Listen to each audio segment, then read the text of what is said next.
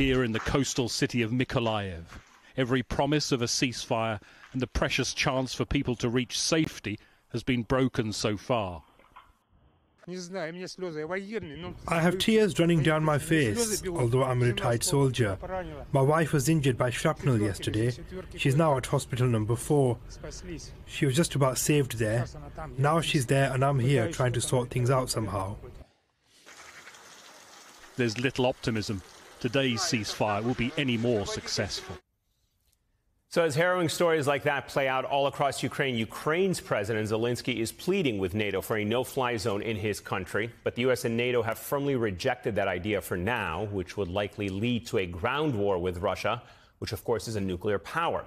That is in addition to the U.S. also rejecting those plans for Poland to send Ukraine fighter jets through a U.S. base in Germany. Retired United States Marine Corps General Anthony Zinni served as Commander in Chief of the U.S. Central Command from 1997 to 2000. He joins me now. General, thank you so much for your time. Uh, you actually have the experience of running no fly zones in Iraq during your time at Central Command. Explain to our viewers what that would actually entail if one was to be imposed over Ukraine. I think, first of all, you need to understand under what authority you're doing this. I mean, is this going to be a NATO operation? Is it going to be a coalition of the willing? Uh, you're obviously going to need bases. Who will provide those? The closer the bases are to the area you're patrolling, obviously, the more sorties you can generate, the better. Uh, I think you have to think through things like uh, what the cost of this is. It's it means that we will have to patrol an airspace over a land the size of Texas, uh, combat air patrols, refuelers, AWACS, and maintain that for 24 hours. Uh, we rules of engagement are going to be tricky. Uh, what do we do if an air defense system engages us, but it's in a civilian area? What do you do if a Russian airplane uh, attacks and then r- retreats back to Russian airspace? Uh, how do we engage them?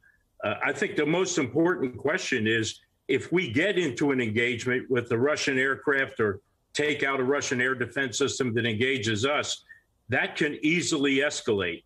So if a decision is made to install a, a no-fly zone, I think that the whether it's the NATO and, or the United States or both have to understand this could escalate into much serious, more serious uh, engagement with the Russians and eventually lead to war with the Russians. And we have to be prepared to react to that. Yeah, you raise a lot of very important technical and legal questions about that authority. And no fly zones are, by their very definition, uh, acts of a conflict. What alternatives do NATO allies have to assist Ukraine? You've probably seen the debate at the top of this show uh, with the whole debate around fighter jets being transferred from Poland to Ukraine. That is also being, for the time being, rejected by the U.S. What else can the allies do to assist Ukraine?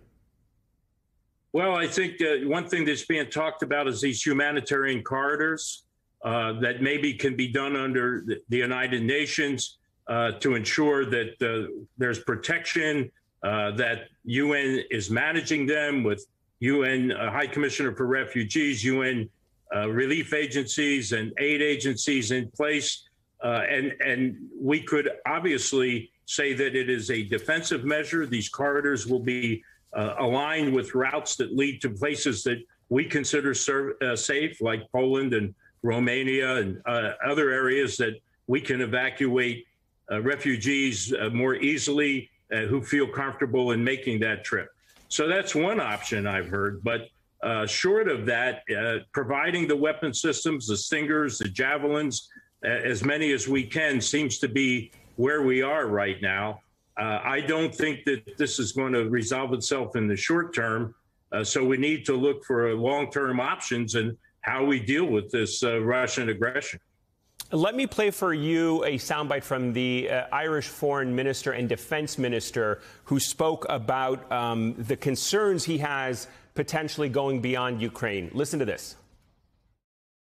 I think the NATO concern is the same as the as the concern within the European Union. If you start providing uh, Russian built fighter jets that some of the countries on the eastern side of the European Union still have into Ukraine, you are really getting involved in the conflict with Russia in a much more provocative way um, that I think may well extend this conflict beyond the borders of Ukraine. We are already providing them Stingers and anti tank missiles. You probably heard Ambassador McFaul say there is no difference between those Stingers and a MiG fighter jet. I'm curious, as a military guy, your thoughts. I mean, is there, there's, would it be a provocation to be sending MiG fighter jets into Ukraine?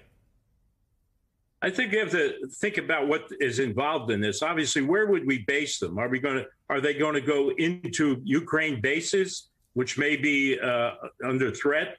Are they going to operate out of uh, Poland or NATO bases, which obviously is a bigger commitment? How we operate.